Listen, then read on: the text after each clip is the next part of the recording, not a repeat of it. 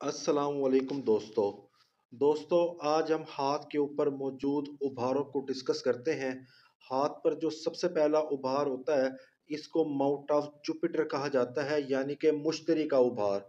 इसका ताल्लुक हाकमियत के साथ होता है और मौसर लबो लहजे के साथ होता है, अच्छे रंग ढंग के साथ ज़िंदगी गुजारने के साथ होता है और तकरीर और तहरीर वगैरह के साथ इसका ताल्लुक होता है। इसका पुरगोश्त होना ज़रूरी होता है।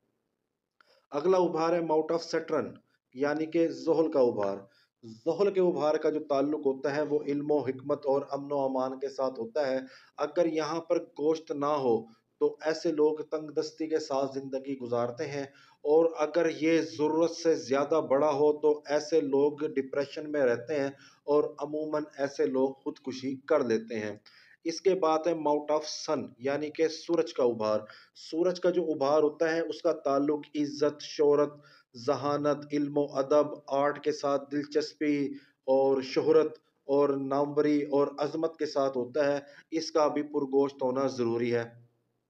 फिर है mount of Mercury mount of Mercury का जो ताल्लुक होता है, ये साइंस और टेक्नोलॉजी और कम्युनिकेशन स्किल्स और कारोबारी मामला के साथ होता है। फिर है mount of moon mount of moon का जो ताल्लुक होता है, वो पाकिजगी, तहारत, विजदान और अच्छी सोच समझ के साथ होता है। अगर ये उभार ज़रूरत से ज़्यादा पुरगोश्त हो और हाथ से बाहर निकल आए तो ऐसे लोग जो होते हैं, वो गमगीन होते हैं, अदम इतमानी के साथ ज़िंदगी गुजारते हैं और डर और खौफ के साथ ज़िंदगी गुजारते हैं। अगर ये उभार बिल्कुल ख़त्म हो, यहाँ पर गोश्त ही ना हो तो ऐसे लोग हैवान सिफ्त होते हैं, उनके अंदर किसी किस्म की कोई समझ बूझ नहीं होती, वो लोगों को नुकसान पहुँचाते हैं। फिर ये है mount Venus. Mount of Venus मर्द हो या औरत हो, इन दोनों के हाथ पर बहुत ज़्यादा अहमियत का हामिल है।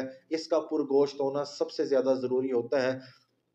अगर ये उभार पुरगोश्त नहीं होगा तो उस शख्स या औरत के अंदर जिनसी सलाहियत नहीं होगी, उनकी औलाद नहीं हो सकेगी।